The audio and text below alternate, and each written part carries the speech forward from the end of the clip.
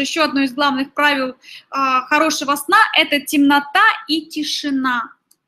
Что очень важно, что а, в комнате, где мы спим, чтобы не было посторонних звуков а, и чтобы не было света. Если у вас там какой-то фонарь вам постоянно в окно светит, ну, будет сложно выспаться. А для таких случаев не стесняйтесь использовать маски для, для сна. Кто использует маски для сна? Кто-нибудь использует, девочки? Ну, пока напишите, я продолжу.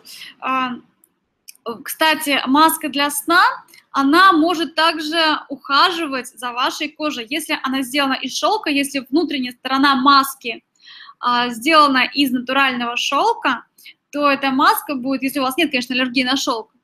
Да, да, да, да.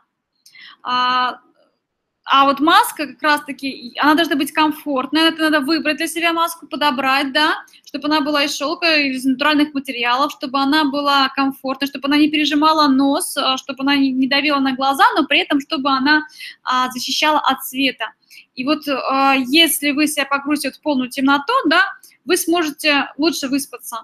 Вас не будут отвлекать там вспышки света и прочее, когда кто-то из близких там пошел в туалет, да, открыл дверь или еще там где-то, или кто-то посветил, да, да, да, мало кто использует эти маски, а на самом деле как раз-таки маски для сна, они здорово помогают.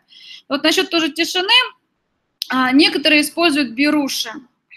Ну, а, если вы используете беруши, это надо, во-первых, подобрать для себя эти беруши, которые бы вам подходили, да, идеально. А во-вторых, все-таки беруши они требуют особой гигиены, то есть э, их надо часто, часто мыть, протирать или менять, потому что очень легко вместе с берушами в уши загнать инфекцию. Это делается очень легко, но потом это очень тяжело лечится. Это из опыта моей семьи, да, у меня вот муж какое-то время с берушами спал, потом ему уши лечили, свекор тоже с берушами, постоянно ему уши лечим.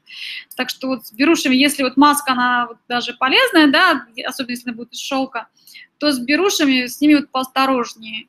Я сама беруши не жалую, но у нас относительно тихо, у нас там птички единственное ночью, да, чирикают там ночные, ну, я уже к ним привыкла, уже как-то звуки природы, они уже легче воспринимаются.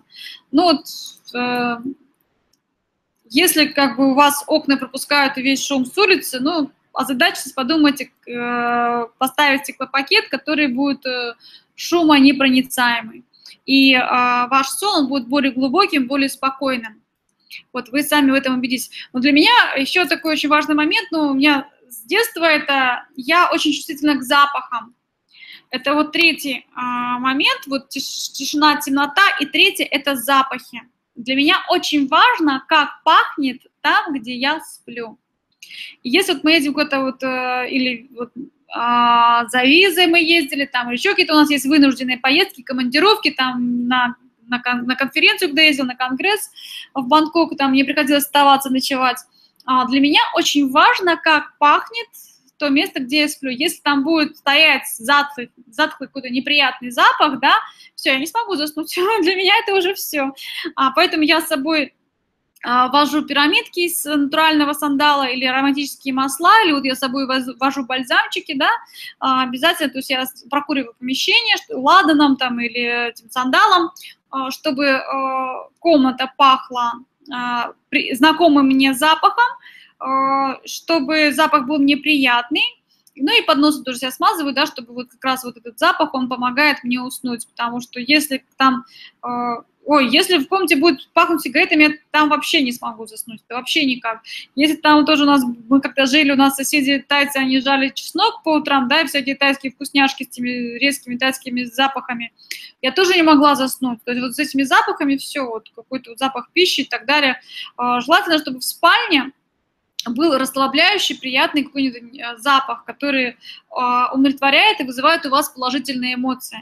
То, что именно вот запах, и даже чтобы он был не химический, не какой-то синтетический, да, с ароматизатора воздуха, а именно какой-нибудь натуральный, там, эфирные масла, там, диффузеры и прочие такие вещи, которые вот помогают расслабиться.